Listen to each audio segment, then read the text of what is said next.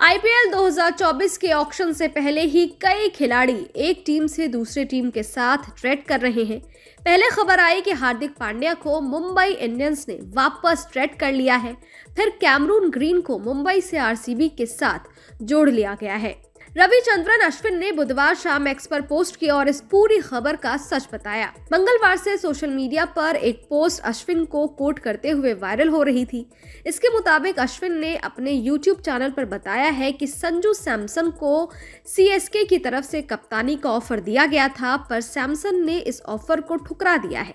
लेकिन भविष्य में इसकी संभावनाएँ देखी जा सकती है। अब अश्विन ने इस पर से पर्दा हटाया और इस खबर का पूरा सच बताते हुए एक्स पर पोस्ट किया है। अश्विन ने एक्स पर वायरल हुए इस पोस्ट पर रिप्लाई करते हुए लिखा है कि फेक न्यूज़ है, ये मुझे कोट करके झूठ ना बोले।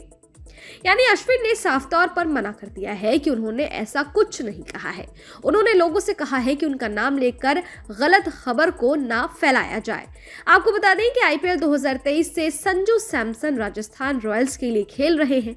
हालाँकि इसके बाद वो दिल्ली कैपिटल्स का भी हिस्सा बने, लेकिन फिर आईपीएल में राजस्थान रॉयल्स की वापसी के बाद अपनी पुरानी टीम में लौट गए। पिछले दिनों सोशल मीडिया पर दावा किया गया कि चेन्नई सुपर किंग्स संजू सैमसन को अपनी टीम का कप्तान बनाना चाहती थी।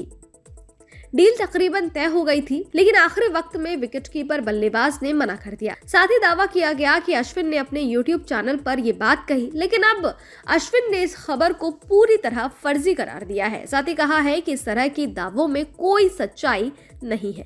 गौरतलब है कि एम एस धोनी के भविष्य को लेकर हर बार आईपीएल से पहले अटकलें लगती हैं कि वो खेलेंगे या नहीं। पिछले सीज़न के बाद उनके घुटनों का ऑपरेशन हुआ था, अब फ़िलहाल वो फिट दिख रहे हैं और ये भी कहा जा रहा है कि वो आईपीएल 2024 खेलेंगे। चेन्नई सुपर किंग्स ने उन्हें रिटेन भी किया है। कप्तान महेंद्र सिंह धोनी की कप्तानी वाली चेन्नई सुपर किंग्स ने आईपीएल 2023 का खिताब अपने नाम किया था।